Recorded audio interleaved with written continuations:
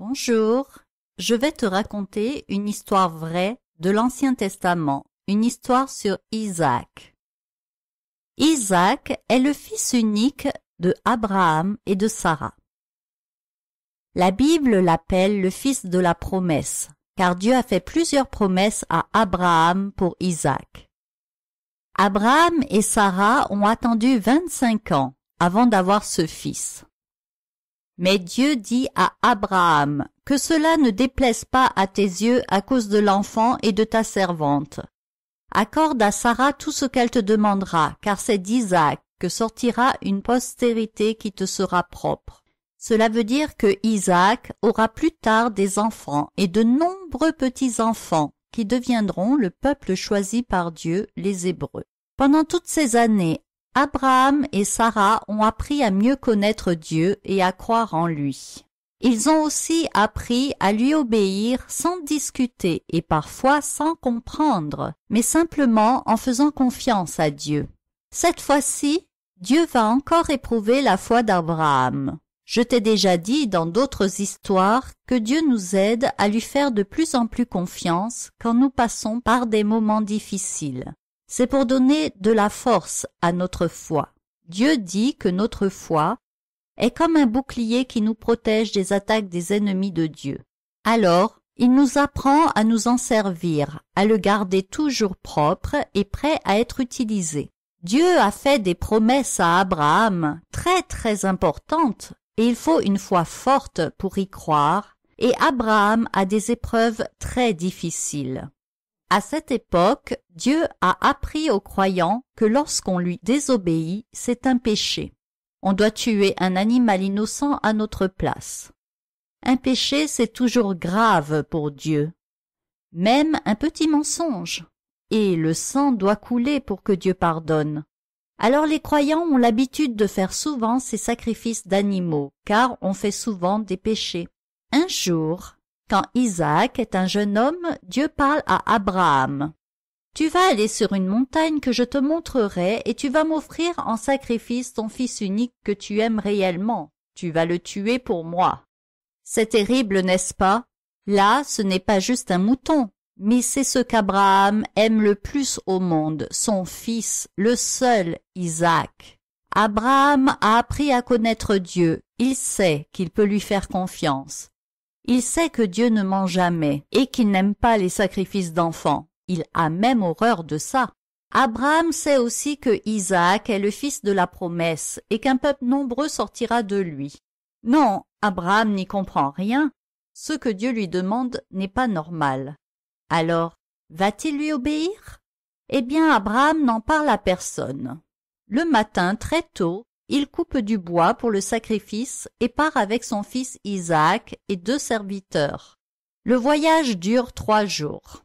Essaie d'imaginer Abraham en train de réfléchir à ce sacrifice durant trois jours entiers. Peut-être qu'il a repensé à toutes les promesses de Dieu au sujet d'Isaac. Il est décidé d'aller jusqu'au bout et d'obéir à Dieu.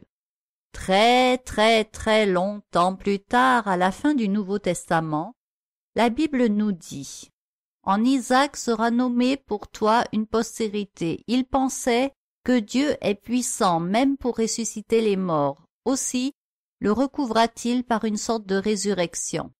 Oui, Abraham pense qu'il va tuer son fils unique Isaac, mais que Dieu va le ressusciter, le réveiller d'entre les morts, car il sait que Dieu est assez puissant pour le faire et qu'il ne ment jamais. Ils arrivent le troisième jour, et il dit aux serviteurs de les attendre, car Isaac et lui vont adorer Dieu sur la montagne. Abraham met le bois sur le dos de son fils, il prend le couteau et le feu, puis ils se mettent en route. Alors Isaac demande à son père où est l'agneau pour le sacrifice. Abraham lui répond que Dieu donnera lui-même l'agneau. L'histoire nous montre que ce vieux père, Abraham, reste vraiment très calme, alors qu'il sait qu'il doit tuer son fils, celui qu'il aime plus que tout.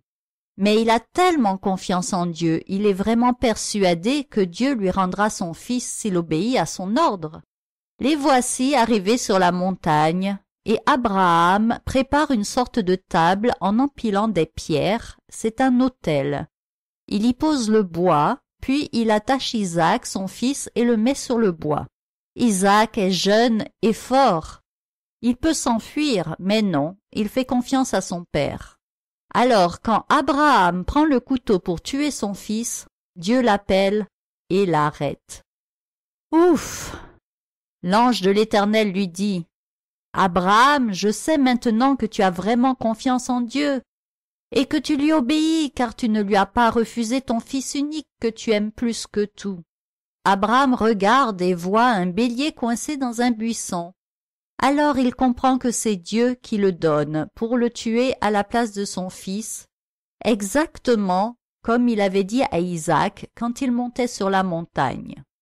Alors l'ange de l'Éternel redonne sa promesse à Abraham qu'il aura des enfants, aussi nombreux que le sable de la mer et les étoiles du ciel. Tu entendras souvent parler de cet ange de l'Éternel dans les histoires de l'Ancien Testament. Comme il le dit lui-même dans cette histoire, il est Dieu. Dieu n'a pas de corps, c'est un esprit invisible. Quand il voulait qu'on le voie, il prenait une forme d'ange. Abraham et Isaac rejoignent les serviteurs, puis ils refont le chemin pour rentrer à la maison. Très très longtemps plus tard dans le Nouveau Testament, Jésus, le Fils unique de Dieu, celui qu'il aime, est appelé l'agneau de Dieu qui enlève le péché du monde. Dieu le sacrifiera sur une croix pour que tous ceux qui lui font confiance, qui ont la foi, soient pardonnés de leurs péchés pour toujours. Mais au bout de trois jours, Dieu le réveillera de la mort pour entrer à la maison au ciel. Si tu veux connaître cette histoire de Jésus, elle est dans le Nouveau Testament sur le site de Trésor du ciel, c'est la Pâque. Nous allons prier. Seigneur Dieu, merci parce que tu ne mens jamais. Nous pouvons te faire confiance, nous pouvons croire ce qui est écrit dans la Bible même quand nous ne comprenons pas. Aide-nous à t'obéir, donne-nous la foi comme à Abraham pour t'écouter sans discuter, pour te craindre, Seigneur, pour t'aimer plus que tout. Merci parce que toi tu nous aimes vraiment et que tu as envoyé Jésus, qui est ton agneau pour nous pardonner, pour nous sauver de nos péchés. Amen. Nous allons chanter. Merci Dieu, le Créateur. Merci Dieu, tu es Seigneur. Merci Dieu, le seul Sauveur. Je crois en toi, je crois en toi. Ce que Dieu dit, il l'accomplit. Moi je le crois, et c'est ça la foi. Ce que Dieu dit, il l'accomplit. Moi je le crois, et c'est ça la foi. Lisons cette histoire dans l'Ancien Testament, en Genèse chapitre 22, versets 1 à 19.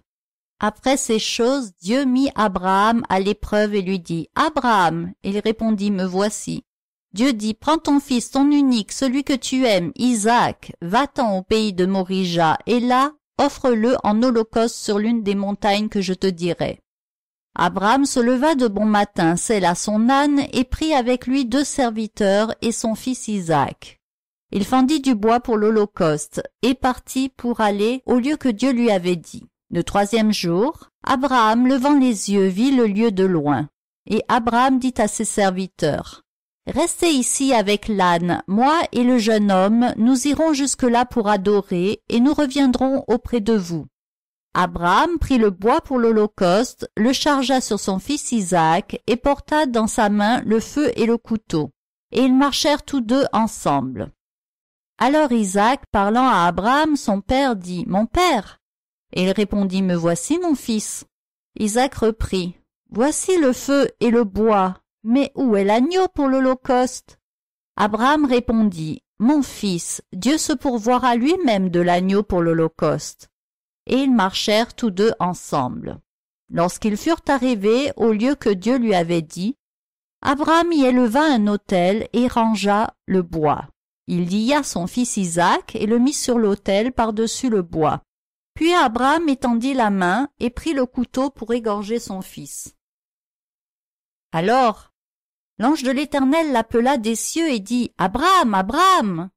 Et il répondit, Me voici. L'ange dit, N'avance pas ta main sur l'enfant et ne lui fais rien, car je sais maintenant que tu crains Dieu et que tu ne m'as pas refusé ton fils ton unique.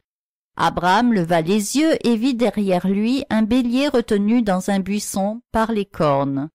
Et Abraham alla prendre le bélier et l'offrit en holocauste à la place de son fils. Abraham donna à ce lieu le nom de Jéhovah Jiré. C'est pourquoi l'on dit aujourd'hui à la montagne de l'Éternel, il sera pourvu. L'ange de l'Éternel appela une seconde fois Abraham des cieux, et dit, Je le jure par moi-même, parole de l'Éternel, parce que tu as fait cela et que tu n'as pas refusé ton fils ton unique, je te bénirai et je multiplierai ta postérité comme les étoiles du ciel et comme le sable qui est sur le bord de la mer.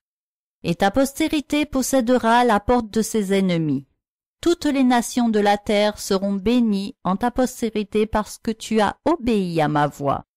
Abraham étant retourné vers ses serviteurs, ils se levèrent et s'en allèrent ensemble à Beersheba, car Abraham demeurait à Beersheba.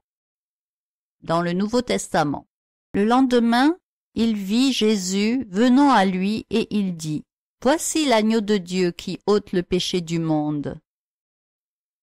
Notre histoire est maintenant finie.